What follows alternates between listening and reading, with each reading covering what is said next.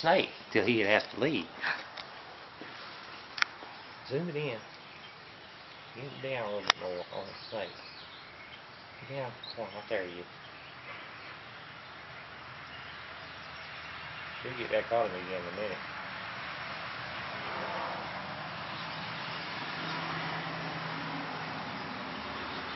He's back out.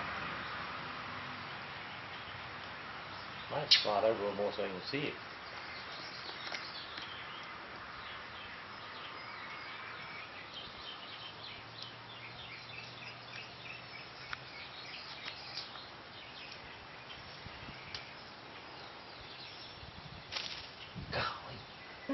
Joe's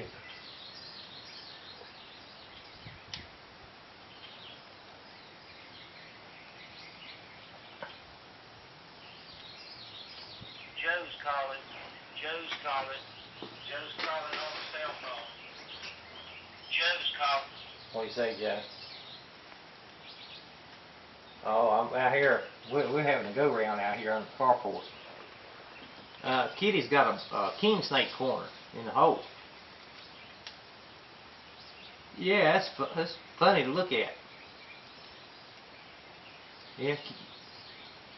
No, they're not I was Don. King snake's alright. If you got a king snake, you know you ain't got no poison snake.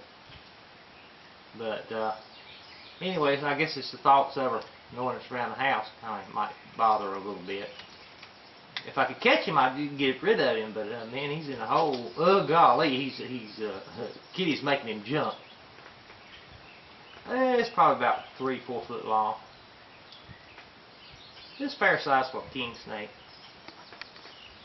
So, uh,